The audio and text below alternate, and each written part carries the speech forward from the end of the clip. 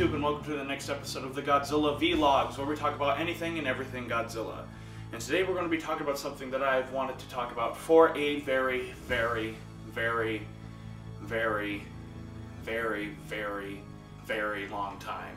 And that is the character, or what's really, what's really the best scene, in, in my opinion, one of the greatest, quite frankly, one of the greatest films of all time, the greatest scene from Godzilla vs. King Ghidorah. There is a lot of things. It's, it's kind of become popular on the internet now to hate on this movie. And I don't know why. It's like something becomes so popular. It's like, you know what, I'm just gonna bash on it because, you know, that's the cool thing to do. That annoys me. It's become popular to hate on Godzilla vs. King Ghidorah, but love Godzilla vs. Space Godzilla. Godzilla vs. King Ghidorah is one of the best films in the Godzilla franchise period. Not only that, but it was also hailed here in the US when it was released for a little bit. Well, it wasn't really released, but when people started watching it, it was also hailed by fans, by critics. It, this, this film was very, very popular, which is in very big contrast to what Godzilla vs. Biollante was. Godzilla vs. Biollante was just panned both in Japan and here in the United States, which is funny considering how Japan has since evolved from them to consider Godzilla vs. Biollante to be the greatest Godzilla movie ever made, topping the original Ishiro Honda masterpiece. But anyways, despite this movie having some flaws, you know, messing up some continuity ideas and messing up some some ideas of time warp, even with my theory about, you know, which Godzilla did this universe take, which, uh, in terms of, of course, speaking of those people that came from the future, did they take the one from 54, did they take the one from 84, was 84 and 54 the same Godzilla, which I don't think they were. Even with my theory, which talks about that they took the Godzilla that, that talks about that there's two Godzillas, one from 54 and 84, and that they took the Godzilla from 1984, even then, there are still some holes in my theory, and that's fine. However, I'm going to stick with my theory, and because it explains the best. I've explained in great detail on a few episodes of The Sons of Serizawa when I was part of that podcast explaining my theory on it, and people seem to genuinely like it, and some people I know have actually subscribed to that theory, which makes me pretty happy. Even with my theory in mind, there are still major holes. Granted, I don't think Godzilla vs. King Ghidorah fucked up continuity anywhere near as much as Godzilla vs. Space Godzilla, where it completely ignores Heisei continuity in general. I believe this movie is far superior. It kind of reminds me of Star Trek II The Wrath of Khan. Yes, I just compared Godzilla vs. King Ghidorah to Star Trek II The Wrath of Khan. Uh, Star Trek II The Wrath of Khan has a couple of logic leaps in the film that left me kind of going, huh? But the rest of the movie was so good that it kind of just made me brush over those issues and still really enjoy the movie. This is the same case here. What is done wrong in this movie is done wrong. However, what was done good in Godzilla vs. King Ghidorah far outweighs and outshines those wrongs that leaves me leaving the film with a much more positive reaction than a negative reaction. That's how I look at movies in general. And Godzilla vs. King Ghidorah is one of the greatest examples of this. There was still stuff that was wrong in it, but I, I still genuinely, really, really, really liked it. Because I genuinely thought what this film had above several other Godzilla films and everything is that this film not only had the soul of Godzilla right, but this film had a very interesting plot, though a little convoluted very interesting plot, but above that had very good characters, specifically with Daisuke Shindo. Now with some behind the scenes of this movie, this film was directed by Kazuki Omori. And Omori was not a Godzilla fan. Uh, he was kind of thrown to the director chair because Toho was like, you've directed a couple of things, here you go. It, it was actually very similar to Star Trek II The Wrath of Khan. Omori was just starting off, and Toho was like, I see potential in you, and they gave him the directing chair for Godzilla vs. Biollante. He wasn't a fan of Godzilla. He loved the original. He genuinely liked the original, but none of the other Showa films, for better or for worse, ever really captured him. So what he did was he went back and he watched all of those Godzilla movies and everything from beginning to end in the Showa series, and he said, all right, I think I get it. And he tried something with Godzilla vs. Biollante. Godzilla vs. Biollante was a success but it wasn't as big as a, of a success as Toho wanted. And so almost immediately, just a couple years later, immediately they said, we want to bring back the normal kind of Godzilla trope, which is bring back a, a, a not, a, don't create a new monster, bring back an original monster, which this one was King Ghidorah, and everything like that. And Omori was hired to direct it again.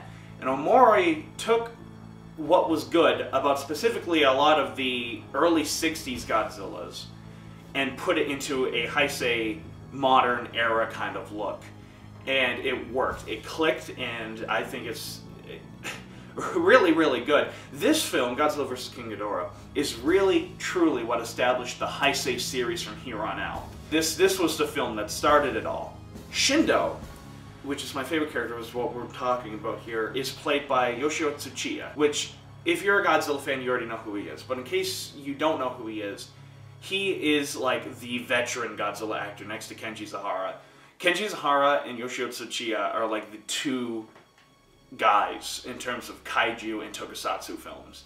Tsuchiya loved these these Godzilla films. He was a humongous fan. Even when the original first came out, he always wanted to play in tokusatsu movies. He's actually most known for, really here in the West, for playing one of the lead characters in Seven Samurai, directed by Akira Kurosawa. Tsuchiya actually did not like his performance in that movie. He thought he gave a good performance, never mind. He thought he gave a good performance, but he didn't like being in those kind of movies. So he'd rather work with Ishiro Honda on a lot of his movies and Jun Fukuda on a lot of his tokusatsu films and countless others. Countless others. So he knew the genre very well. And he's also a phenomenal actor at playing someone who's tormented. Somebody who is juggling back and forth what's moral and what's not. That is Shindo's character in a nutshell, throughout beginning to end of Godzilla vs. King Ghidorah. Shindo is doing nothing but, but really juggling back and forth, is this the right thing to do? Swallowing up his pride and doing something that he knows is wrong, but he knows it's right in terms of the greater good. That's what Shindo's character is in a nutshell. And when I talk about the best scene in Godzilla vs. King Ghidorah, it is hands down the scene where Shindo and the new resurrected Godzilla lock eyes for one last time, and then Godzilla ultimately kills Shindo. This scene has been scrutinized and has been wrongly analyzed so many times on YouTube. And the biggest example of this is James Rolfe's review of Godzilla vs. King Ghidorah, where he's like, oh yeah, he's not... James Rolfe basically had the idea that Shindo's like, no, he's not going to kill me, he loves me. And then all of a sudden Godzilla's like, no, fuck you, and kills, and kills Shindo. And he thinks it's a badass moment, and a bit of a hilarious moment. That's not the truth at all. It's almost like he did not even watch the scene itself or the movie itself, or the things leading up to the scene. Because Tsuchiya no isn't like, no, Godzilla's not going to kill me because he knows me. No. Shindo knows that Godzilla will kill him. Because that's what Godzilla was born to do, to kill. And he knows that because he wants to die. Because Shindo, not once, but twice, has caused this creature such horrible damnation. He has damned this monster not once, but twice. And that's a horrible thing to think about. Now, Shindo's relationship with Godzilla is really, really interesting because this happened back in 1944 when, you know, the World War II was basically in its highest moment, was in, was in 1944. He, Shindo is in charge of this garrison on Lagos Island, and they are hugely outnumbered and outgunned by the Americans, these Japanese soldiers. And so in one last ditch offensive, which was very common for the Japanese for the Japanese at the time, Shindo orders one last banzai charge, one last offensive, which he knows full well would lead to the death of the last of the garrison. Now, what's interesting about that is when he gives the order to charge and they actually charge. Before the Godzillasaurus arrives, you see Shindo sitting down in his cave, in the cave where he's stationed. And he's got a highly decorated uniform on, and he's got his samurai, his samurai, his samurai sword right next to him. It didn't hit me until this last viewing of the movie did I realize what he was going to do and why he didn't take place in the attack itself. While all of his soldiers are dying, what Shindo is going to do is he's going to commit harakiri he's going to kill himself. He's going to go through the samurai tradition of ritual suicide. And then all of a sudden he hears those epic footsteps and the Godzillasaurus walks by him and starts attacking the American soldiers. Godzilla, the Godzillasaurus did not just save Shindo for his garrison and keeping his garrison alive enough to be moved out of Lagos Island and somewhere else, but he also saved Shindo's life, literally, in that sequence where he was going to kill himself and he does it because the Godzillasaurus comes in and everything like that. Now that alone is pretty deep. And it hurts Shindo because this Godzilla, the Godzillasaurus gets all sorts of fucked up in that scene, right? He, he's just covered in blood. He's been shot a million times, and he's now lying on the ground just waiting to die. And Shindo is devastated. And you have that another great scene where, where Shindo thanks the Godzillasaurus for basically saving their lives and how sorry he is. There's even a scene where, where he salutes the, the Godzillasaurus very honorably and actually sheds a tear because he's so devastated the fact that this dinosaur saved them, but he can't save it. And he has no choice but to run away. That Godzillasaurus became irradiated, and what I think became the Godzilla from 1984 in Godzilla vs. Biollante. That Godzilla destroyed the cities. And what's interesting is that Shindo managed to somehow survive World War II, managed to survive, and basically when the Americans stepped foot into uh, stepped foot into Japan and started the reconstruction of Japan, Shindo was one of those head tycoons in charge of everything. There is a great line when King Ghidorah destroys one of, one of the cities. He's standing there and he goes, I, will have my revenge. He, he screams and he's like, I won't let him destroy my garden city. I'll have my revenge. Because he, in many ways, built that city. He i don't know what exactly he was in charge with be it the steel the city used or something. He was one of the huge head tycoons of japan period. He was he had like a, a, like a monopoly over several several things to the point where he had kind of his own private army where he has this kind of like he has a built nuclear submarine ready for the JSDF so not only that but he's hired by the government to do all this stuff he's got loads of money and everything like that he knows about this dinosaur, right? And he vows never to tell anyone about it because everybody would think he's insane. And above that, if he told people about like what saved him, he would be one, he would be laughed at, but two, it would be a very dishonorable thing to do because the honorable thing to do in the Japanese army at the time is to die, is to die in battle. And Shindo lived, and it'd be very dishonorable if he said, "This thing saved me. Something saved me." It doesn't matter if it was a monster or not. It's him. The fact that he has been saved is very, very dishonorable. And which is so fucking stupid, but thank God the Japanese culture isn't like that anymore. So when the people from the future take that Godzillasaurus, put it somewhere else, and they make King Ghidorah, when King Ghidorah destroys Tokyo and everything like that, uh, I'm not sure if it was Tokyo or not, it was some city, all of a sudden Shindo looks out the window and he sees the city in flames as King Ghidorah flies away. He says, I will not let you destroy my garden city. I will have my revenge.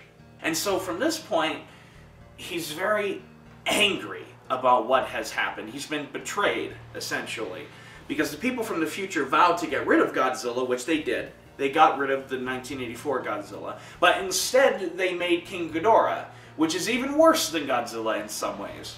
He's pissed about that, and at the same time, people start finding out about the Godzillasaurus and everything like that, and he's very hush-hush about it, but it starts bringing back all the memories of what, what he went through and how he couldn't save the dinosaur. And so in some ways he looks at these people going back in time and transporting the dinosaur from one place to another. He looks at that as kind of like his saving grace. Shindo kind of looks at this and is like, okay, this is this is me redeeming myself for the horror that I did in the past because I left Godzilla, I left the Godzillasaurus on the island to die. Alright, to at least die in its environment and die peacefully. But it didn't. And it got new, it got irradiated by whatever the hell bomb was dropped there. And now it's become this horrible mutation that does nothing want but that does nothing but want to destroy us because it's this mutation. And Shindo feels guilty about that, so when the future people transport Godzilla to to the middle of the fuck nowhere in the Pacific, Shindo's like, okay, that's one thing, that's probably the biggest thing weighing down his conscience, and just lets it, it's pro probably the biggest thing weighing down his conscience has just been released. Because if you look at it, Shindo doesn't have a wife, he doesn't have any children, he's just so devoted to his business, and part of me think thinks that that is because of the Godzillasaurus, is that he feels so guilty about that that he does nothing but rebuild and rebuild and does nothing but work, work, work, and work. And so now that this has happened, and now the Godzilla, the Godzilla is no more, and then Godzillasaurus just died, he's like, oh, thank God. Well, it turns out that a Russian nuclear submarine went missing and revived that said Godzillasaurus. But this time, instead of with nuclear weapons back in the 50s, it was even with more powerful nuclear nuclear reactors from a modern day nuclear submarine. Well, what happens is that the, the, the, the JSDF go to Shindo and they're like, King Ghidorah is bad, okay? It may be even worse than Godzilla. And Shindo and the JSDF agree that what we need to do is to revive Godzilla to combat King Ghidorah because nothing we've done to King Ghidorah has stopped him. That's not exactly the greatest idea, but it would work given the universe that they're in. And so Shindo sends out his nuclear submarine to go out and revive Godzilla and basically nuke him to bring him back to life. But Godzilla's already alive, so then he absorbs that nuclear submarine, right? And then all of a sudden Shindo receives a phone call in the middle of the night. I love this scene, it's so simple. Is all of a sudden you hear the telephone ring and it's echoing, and Shindo picks up the phone and goes, What? It sank? And then there's like a, a slight zoom in on his face. And the look on his face is one like, Oh God, oh God, I've just done it again. I have just done it again. I have not just damned this monster that saved me. I've just not damned this monster once, but twice. And that's Shindo's plight. And that's what I love about that. Shindo's plight is that this monster that saved him, he has not only fucked over once back in, and that's what came back and attacked in 1984 and 1989. Now he's come back and he's even more mutated and he's even worse. He's even worse off and angrier than the one before. Because at least the one before was still very animalistic. This Godzilla is not. This Godzilla is very angry, which brings up that line when Godzilla defeats King Ghidorah for the first time. where he where one of the characters goes, just look at that thing, there's no way he's gonna help us. I love that line. That's one reason why I love this movie. And that Godzilla is angry.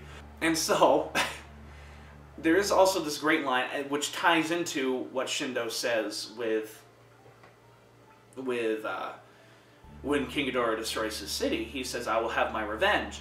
When Godzilla and King Ghidorah are about to square off, he holds up the photo of this Godzillasaurus that saved him. And what's funny is that Shindo is almost so blind by the fact that this is the monster that saved him, he doesn't look at the reality situations at hand. He says, he's come to protect us once again. Uh, or something like that. He says, our savior will protect us once again. And then, of course, Godzilla defeats King Ghidorah in a rather intense battle, one of the best in the Heisei series. And suddenly, Shindo sees how angry Godzilla is and that he's not going back into the sea. He is going on a rampage of destruction, and Shindo, another great kind of like boom in shot, Shindo just stands there and slowly looks down from the screen. And just the, releva- the, the revelation on his face is so good. This is just a testament to how wonderful of an actor Tsuchiya is. Also, Akira Ifukube's music helps a lot. Only Ifukube could have scored this movie, I think. If somebody else scored this movie, I don't think it would have worked. Akira Ifukube is what makes Godzilla vs. King Ghidorah such a masterpiece. Really, it is. Especially with, in terms of both Godzilla's theme and Shindo's theme. So, when Godzilla starts destroying the city, right, Godzilla starts destroying this, everything is just weighing down on Shindo's shoulders over and over and over again. Like, it's just nuts, right? Shindo makes a decision that he should have done back in 1945, which is he's going to kill himself because he has dishonored himself so much by literally destroying what life this dinosaur had. He decides to then kill himself, pay, pay the ultimate sacrifices for his sins.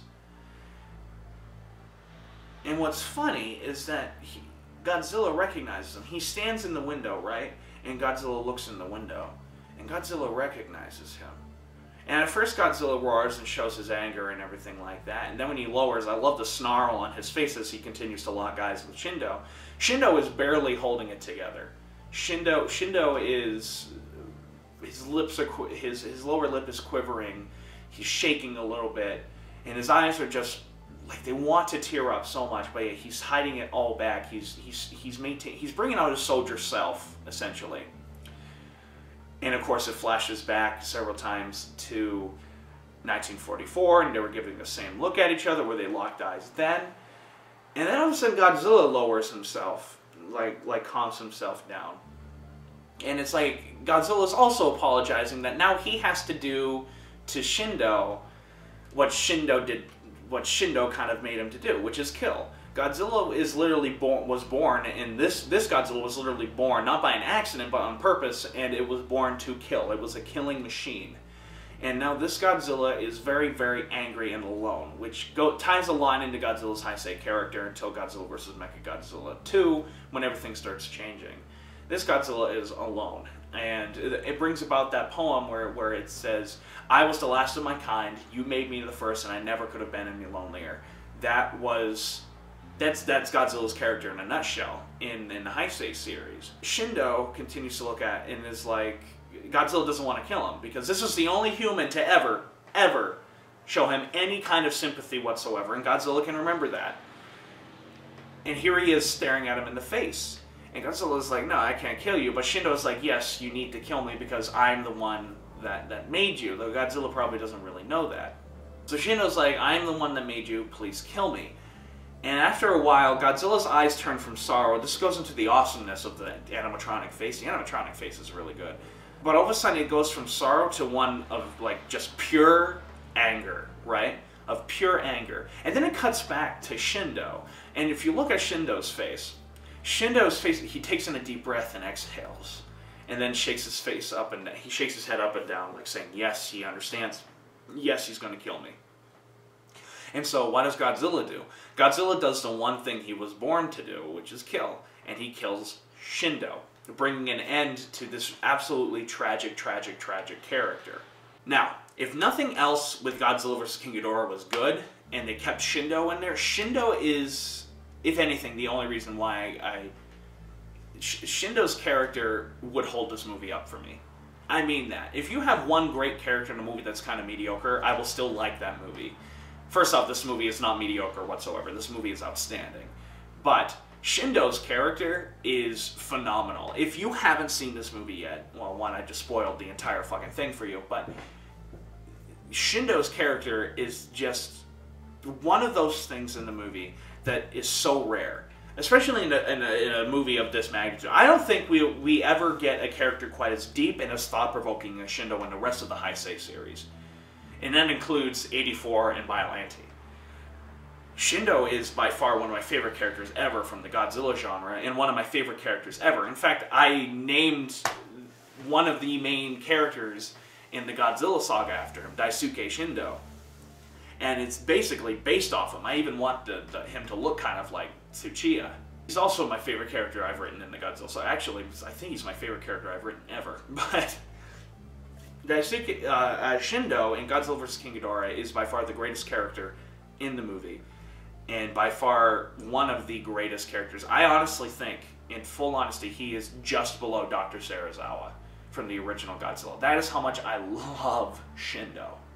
It's a very rare thing to get a character as thought out as this in a Godzilla movie. The writers nailed it and so did Omori, and the editing nailed it, and especially in that one scene, the final scene, his Shindo's death scene, just nailed his character, just nailed it.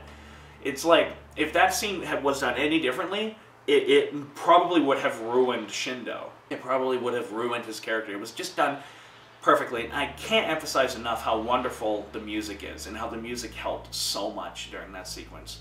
Akira Ifukube nailed it. I mean, this is Akira Ifukube coming out of retirement. He fucking nailed it, and he came back with a bang. And his music score just really helped in this sequence because he got it. Akira Ifukube understands Godzilla because he scored enough of his freaking movies. He should know, and he scored the original movie. And he thinks Akira Ifukube thinks that the original Godzilla was his best score ever. So he knows his character. Everyone in this movie knew what they were doing. Tsuchiya, Omori, the cinematography guy, the special effect, uh, Koichi Kawakita, who did the special effects on Akira Ifukube, they all knew what they were doing, and it paid off in that one scene. It really, really, it was building up and building up and building up, and all that build up was great, and then all of a sudden, it just nailed it. I would have changed nothing with that scene. That scene is just fucking gorgeous, and I I can't gush about it enough. Fucking watch this movie again. I freaking love Godzilla vs. King Ghidorah, one of the best in the Godzilla series, period. So go on Facebook, like which, my new movie, Which Way They Walk, which by the time you're seeing this, we would have wrapped filming and that post-production has fully begun. Like AN Productions for all up-to-date information about what I am doing. Uh, and like the Godzilla Saga for all up-to-date information about how those four books are coming along. So hit the like button, hit subscribe, leave me a comment saying how much of a retard I am or how much you agree with me. And this is Adam Noyce of AN Productions saying, sign sayonara.